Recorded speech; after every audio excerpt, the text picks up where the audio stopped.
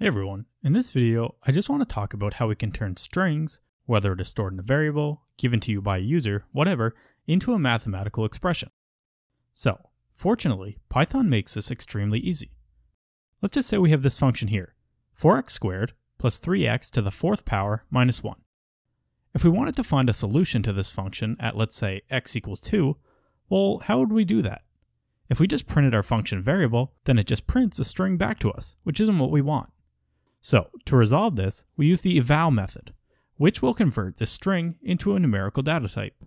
So just by changing this x variable here, we can evaluate this function at different inputs. Let's see what other cool things we can do with this eval method. Well, one thing I find interesting is taking this function from our user and applying it to a Python function, which allows us to evaluate the function at different input values. So, to do this, let's define a function for f of x, and say that f is equal to the line that we had earlier, that is the eval method, with our function string as the argument. Then we need to return f. Now, let's just enter a few inputs. Let's do a, b, and c, all with different input values. So, now we are able to evaluate this function at all of these inputs here by just printing the f of input. So, as you can see here, we are returning the output for all of these inputs from our initial unusable string term, which I think is pretty cool. We can also use it to evaluate strings as mathematical expressions.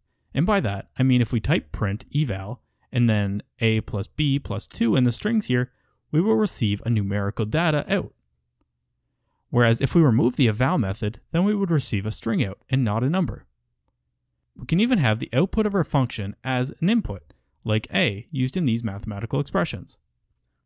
We can also create booleans using this eval method. So if we wanted to check if the output of f of a is less than 1, we can do it like so.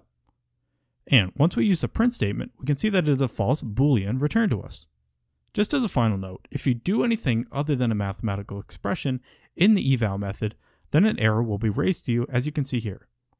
Thank you for checking out this video and I hope it helped your understanding of how we turn strings into mathematical expressions in Python.